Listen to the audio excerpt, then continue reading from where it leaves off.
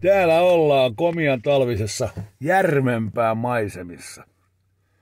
Tulin tähän erääseen kiinteistöön, täällä on kuulemma kylmä, niin huoltomies tulee laittaa lämmöt päälle. Niin menehän tää joulupäivä tälleenkin työskennellessä taas. Ei siinä mitään. Näihin lumisiin kuvin järven päästä.